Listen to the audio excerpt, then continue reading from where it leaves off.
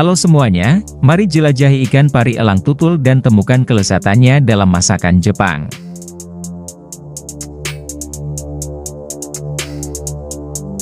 Ikan pari elang tutul secara ilmiah dikenal sebagai Aetobatus narinari, adalah makhluk laut yang menakjubkan yang memikat imajinasi, dengan penampilannya yang mencolok dan gerakan yang anggun. Ikan pari ini dikenali dari tubuhnya yang besar dan datar, yang dihiasi dengan bintik-bintik putih pada latar belakang biru tua, atau hitam menyerupai langit malam yang berbintang. Lebar sayapnya dapat mencapai hingga 3 meter yang memungkinkannya meluncur dengan mulus di lautan. Sering terlihat melayang di dekat permukaan air. Mereka hidup di perairan hangat di daerah tropis dan subtropis di seluruh dunia.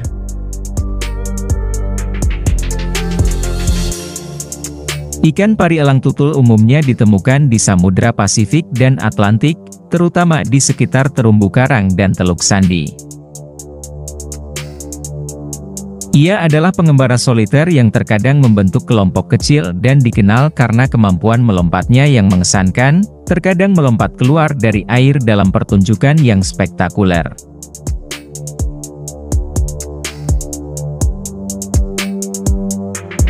Di balik keindahannya, ikan pari elang tutul memainkan peran penting dalam ekosistem laut. Mereka memakan moluska, krustasea, dan ikan kecil, menggunakan moncongnya yang khusus untuk menggali ke dalam laut dan menemukan mangsa yang tersembunyi.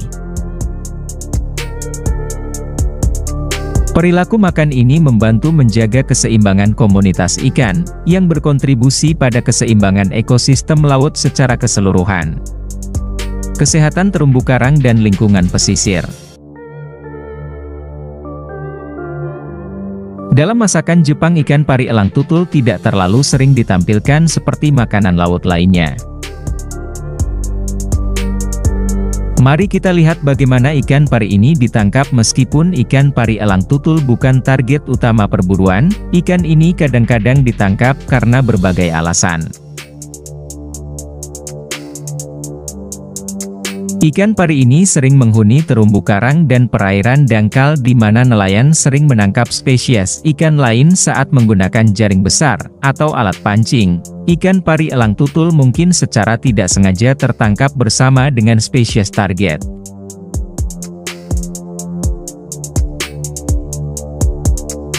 Setelah ditangkap, ikan ini dijual di pasar makanan laut lokal untuk persiapan menjadi hidangan khusus.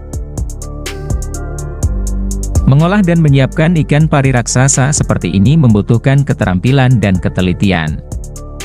Ikan pari elang tutul memiliki sirip dada yang sangat tebal dan kuat tetapi dengan pisau tajam, koki dapat dengan mudah memotong siripnya.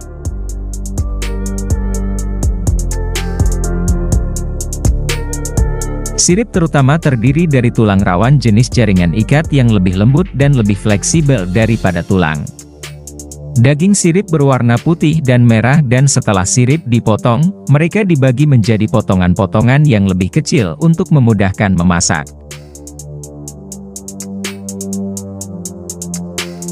Di bawah tulang rawan sirip dada mengandung jaringan otot lunak yang biasanya halus dan lembut meskipun tidak menonjol seperti daging dari tubuh atau ekor. Ikan pari juga akan dikupas kulitnya oleh koki. Mengupas kulit ikan pari yang tebal dan keras, yang merupakan tantangan yang cukup besar.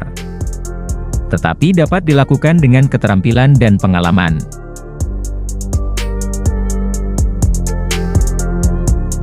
Selanjutnya, daging ikan pari dipotong-potong tipis dan direndam dengan campuran kecap asin, sake, bawang putih cincang, dan parutan jahe.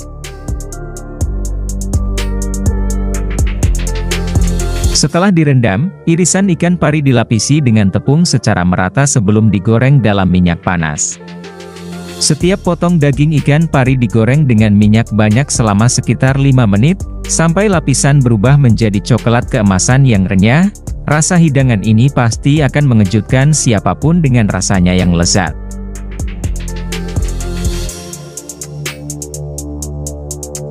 Bagaimana dengan organ dalam? Sebagian besar organ dalam ikan pari ini seperti hati, lambung dan usus dapat dimakan. Khususnya hati dianggap sebagai makanan lezat dan sering dihargai karena rasanya yang lembut, dan setelah membuang dan membersihkan, organ hati dimasak bersama dengan sisa daging sirip.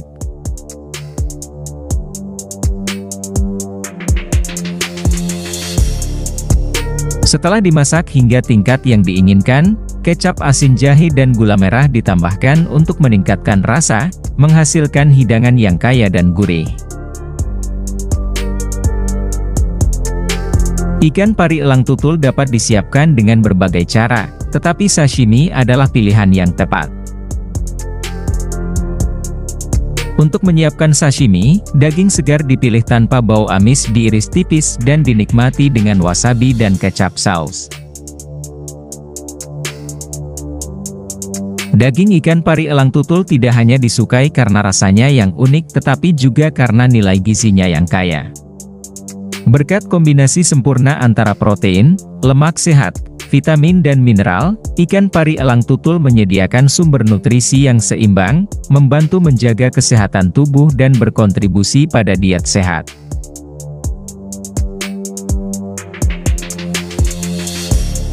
Video hari ini berakhir di sini, terima kasih buat kalian yang sudah menonton video ini hingga akhir, jangan lupa like, komen, dan share. Sampai jumpa di video selanjutnya.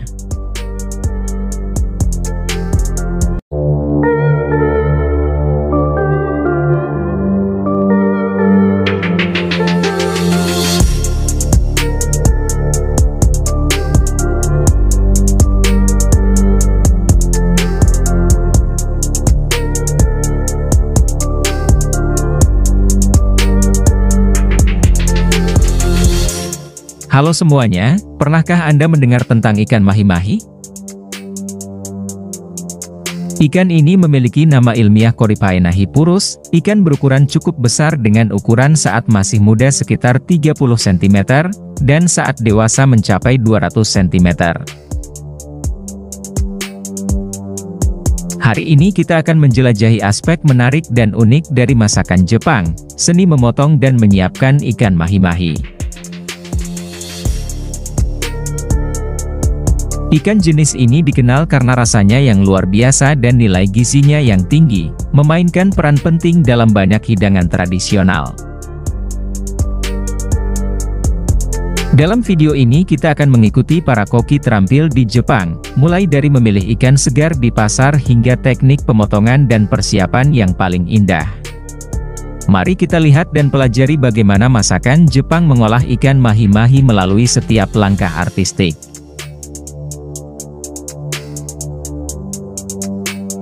Ikan mahi-mahi juga dikenal sebagai ikan lemadang, merupakan ikan laut tropis yang terkenal dengan rasanya yang lezat dan warna-warna cerah. Tubuhnya merupakan campuran biru dan kuning yang menciptakan penampilan yang menakjubkan secara visual. Daging mahi-mahi yang putih dan kencang dengan rasanya yang manis menjadikannya bahan yang ideal dalam banyak hidangan, mulai dari sashimi dan sushi hingga hidangan panggang dan tumis.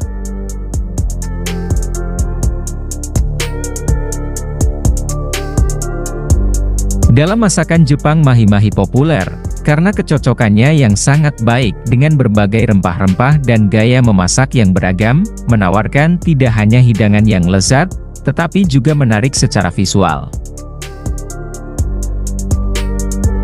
Untuk ditangkap ikan mahi-mahi membutuhkan keterampilan dan teknik tinggi karena mereka menghuni perairan lepas pantai dan sering kali bergerak cepat. Ada beberapa metode umum untuk menangkap mahi-mahi termasuk jaring, trolling dan handline fishing.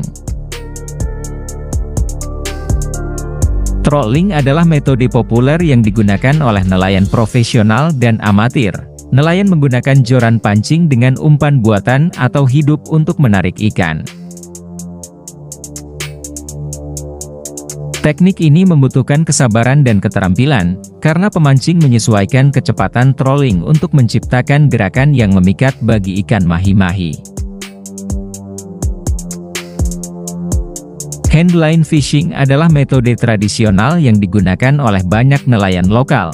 Dengan teknik ini nelayan menggunakan tali pancing panjang dengan umpan di ujungnya dan menurunkannya ke dalam air tempat ikan mahi-mahi muncul.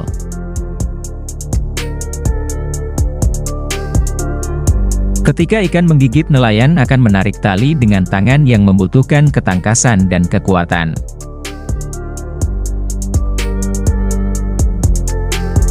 Setelah perjalanan panjang di laut, ketika perahu nelayan kembali ke pantai tidak hanya membawa kegembiraan perjalanan yang sukses, tetapi juga ikan mahi-mahi yang segar dan penuh harapan. Ikan-ikan ini tidak hanya akan menjadi sumber mata pencaharian, tetapi juga sumber kebanggaan dibawa ke pasar makanan laut lokal, dengan harapan dapat menciptakan makanan khusus untuk setiap keluarga.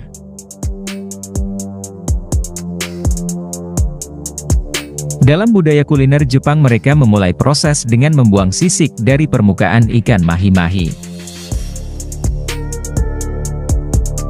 Kemudian koki menggunakan pisau tajam untuk memisahkan kepala ikan dengan mudah dan mengeluarkan organ dalamnya.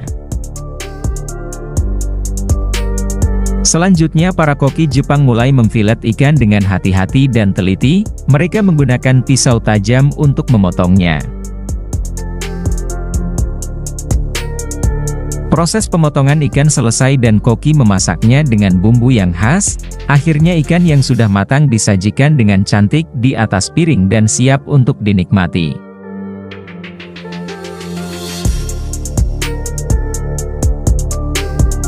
Setiap potongan ikan akan membawa cita rasa yang unik dari bumbu.